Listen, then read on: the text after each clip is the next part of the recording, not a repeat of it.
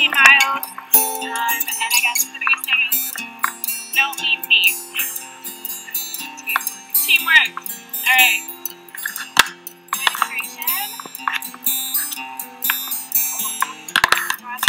Sharpie just totally put a mark, like sponsor this place because everybody is markering the crap out of their bodies. But very excited and a big thanks to Ice Scott for sponsoring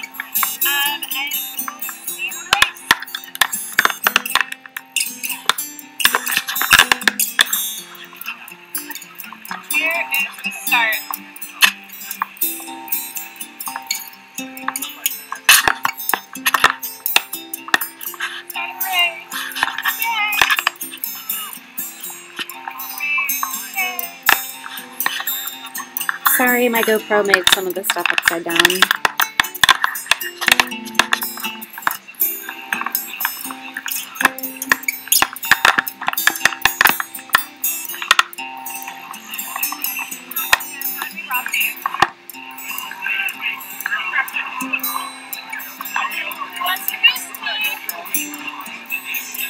Yeah, so I didn't think I'd be able to get over this wall here. It's at least a good six or seven feet tall because I'm 5'1", and it was definitely taller than me.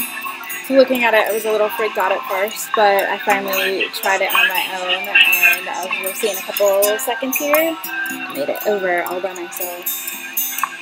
I was kind of excited about that.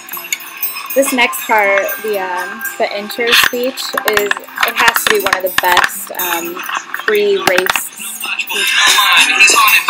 I've ever had.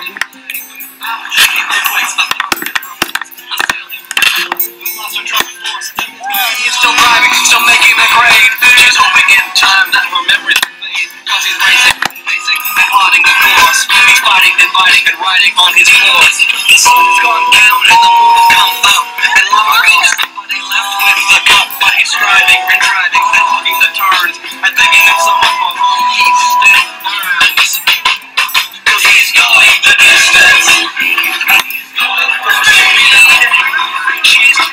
You'd probably be able to see better if I was taller.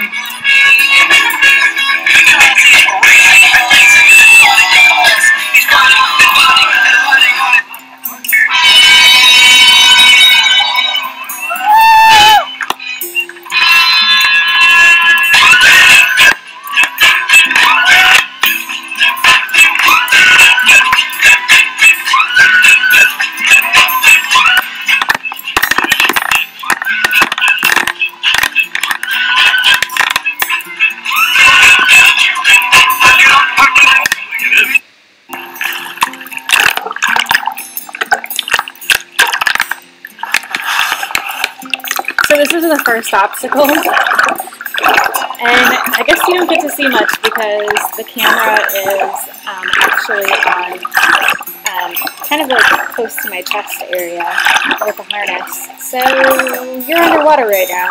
But anyway, I'm um, crawling underneath a bunch of barbed wire, so I had to go low. I clean off the camera every time though. Not much for myself, as you can see, I'm crazy muddy. But that was the first obstacle. I think it's just to get you nice and wet and cold. But it's plenty hot out. This was uh, July 21st, 2013. Um, it's advertised as the Minnesota Tough Mudder, but it's actually in Wisconsin, which is, I don't know, false advertising. Anyway, so we jog a little bit here. I cut out between those just so that it doesn't bore the crap out of you. But um, the next obstacle is called the Arctic Enema, and it is aptly named because it is cold. Yeah, anyway, so you basically wade through a bunch of ice, and people go incredibly slowly, which gets you stuck under there, and then you can't just kind of like tippy toe either. I mean, it's the water's almost as high as I am, but there's a board partway through that you actually have to go under, so you get entirely dunked in this thing. And they say, you know, you don't have to do everything, but I did.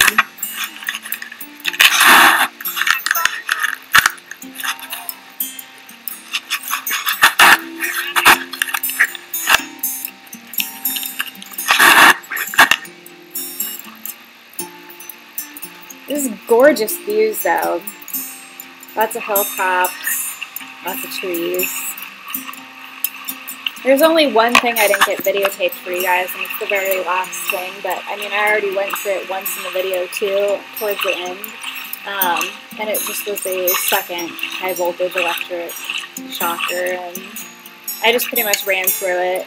It's not too bad. I mean, it kind of makes you, um, I don't know, makes your limbs jerk a little bit at, at most just kind of numbs things out a bit. But I had already gotten hurt by the time I got to the first high voltage, so by the time the second came around, it was whatever. Um, I fell down and kind of was bleeding all over the place.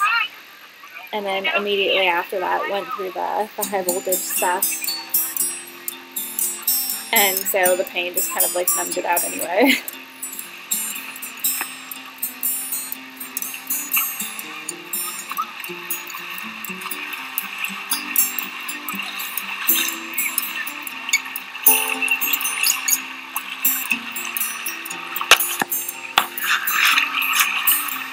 So today is actually November 24th. Um, I'm going to be heading out soon. I'm looking at more houses. I really want to buy one soon. I have a whole list made up and an awesome realtor. But, um, I don't know. Just figured maybe I'd start keeping a bit of a video type diary thing on here.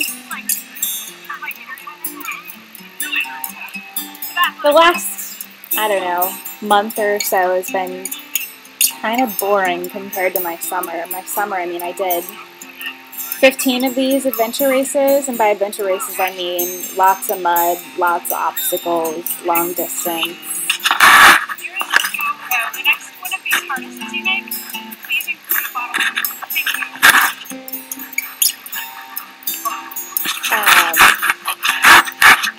So I was just to do the Living History Farms race this weekend, yesterday actually, and the world froze over, or at least my world.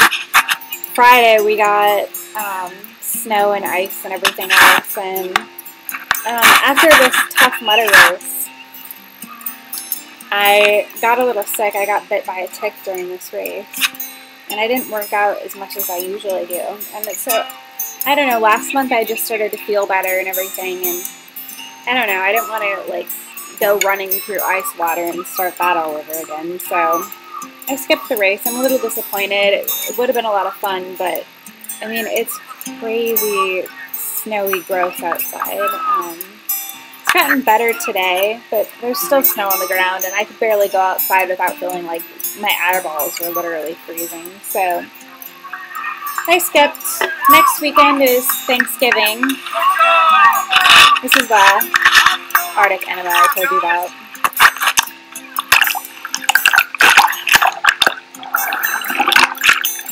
I don't have big plans really for Thanksgiving. I was thinking um, of going to see my dad, but it's kind of far away, so I'm thinking maybe Christmas for that.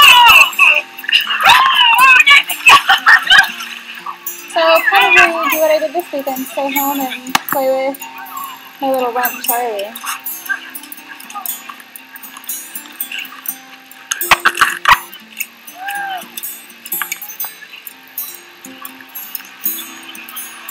So,